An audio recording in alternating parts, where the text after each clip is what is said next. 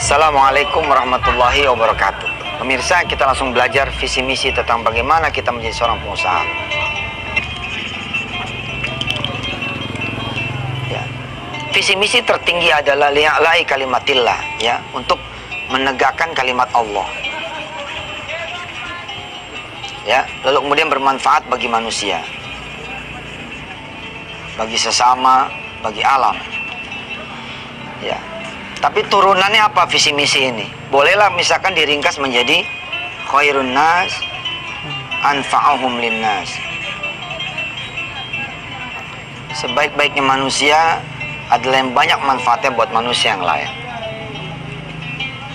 Ini hadis dari Rasulullah SAW.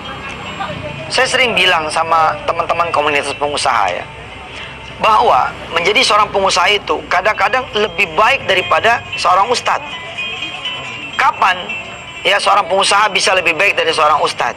Manakala kemudian dia bisa berdakwah dalam kapasitasnya sebagai seorang pengusaha. Contoh, saya sebagai ustadz, saya sebagai ustadz, saya masuk misalkan ke pabrik X. Lalu saya sampaikan kepada pabrik X ini. Para karyawan yang dirahmati Allah, saudara harus bersedekah keluarkanlah dua sama persen minimal. Kalau perlu 10 persen. Kalau perlu lagi berikan Allah porsi yang lebih banyak daripada saudara. Misalkan Allah 60 persen saudara 40 persen. Tapi saya ngomong ini cuma ngomong. Tidak ada kemudian daya paksanya.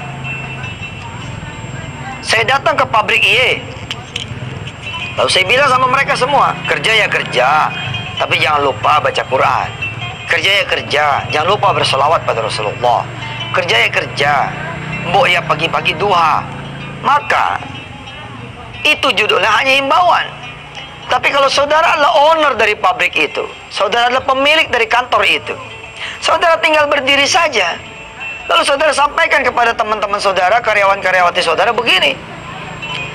Karyawan-karyawati yang saya cintai karena Allah ya. Kita akan membiasakan diri untuk kemudian uh, sholat duha mulai besok absen saudara diawali dari sholat duha. Sholat duha saya bikin sebagai SOP pekerjaan di kantor ini. Yang tidak sholat duha maka dianggap tidak ada absennya. Ada di antara saudara-saudara yang tidak setuju? Ini surat pengunduran dirinya. Ustadz, boleh itu begitu? Ya boleh. Falyugoyiru biyadi kalau Anda punya tangan, punya kekuasaan, lo bikin dong dengan kekuasaan yang Allah berikan kepada saudara semua.